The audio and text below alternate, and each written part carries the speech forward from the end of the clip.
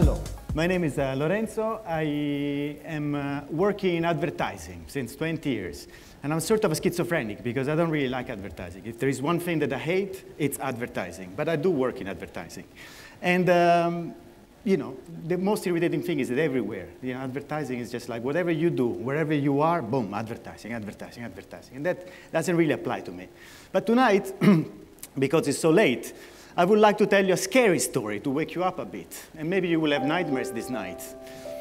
Not too distant from here, there is a place where a cow, or also a flower, or even a car, are considered more important than a child.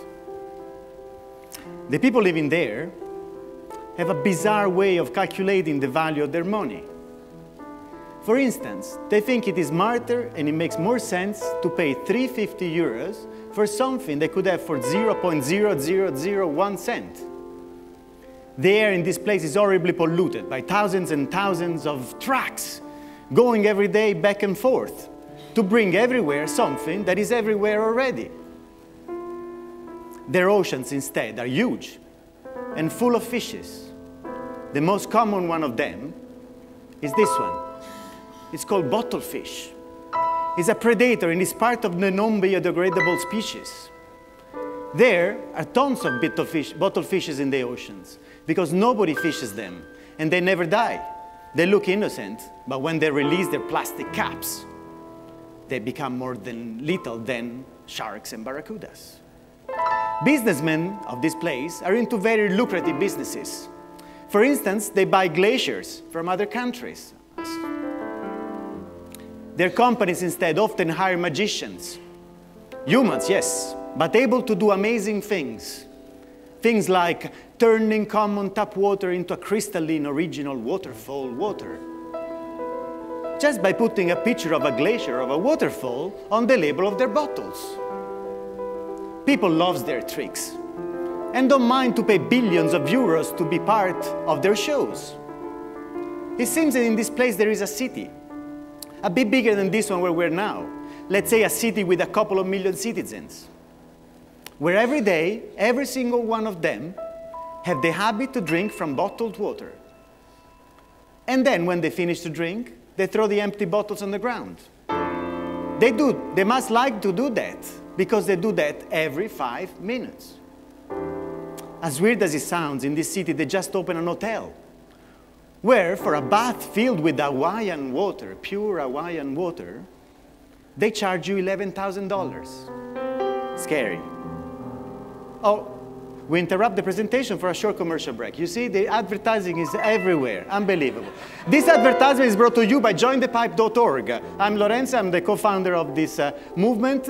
Hello, we're jointhepipe.org, the first social network of tap water drinkers. People joining from everywhere sharing the same dream, redistributing water in a fair way across the world. To do so, our idea is building the longest water pipe in the world, long enough to bring water wherever there is no water.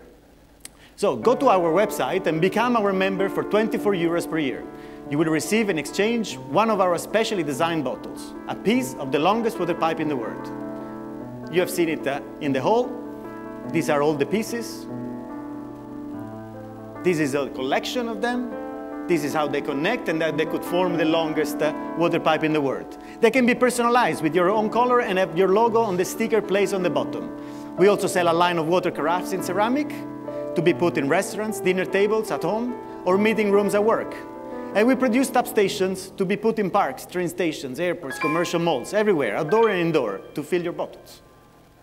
The money we'll get from uh, the sales will be reinvested in water-related projects in Africa, Asia, and wherever is needed. So far, thanks to our members, we have financed 52 projects in Bangladesh, Congo, Malawi, and Kenya, and brought safe water to over 25,000 people.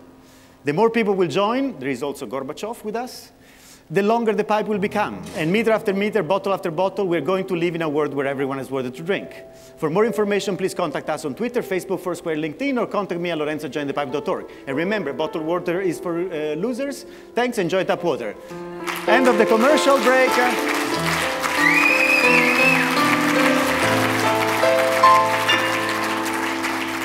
We apologize for the interruption and we're now ready to continue the presentation. Where were we? Oh yes, that weird place that we were talking about, where today 1.2 billion in this place uh, didn't drink a drop of water. And another billion, including us, unfortunately also all of us in this room, have flushed each of them 70 liters of drinkable water in their toilets. If you're wondering where this place is, don't look too far.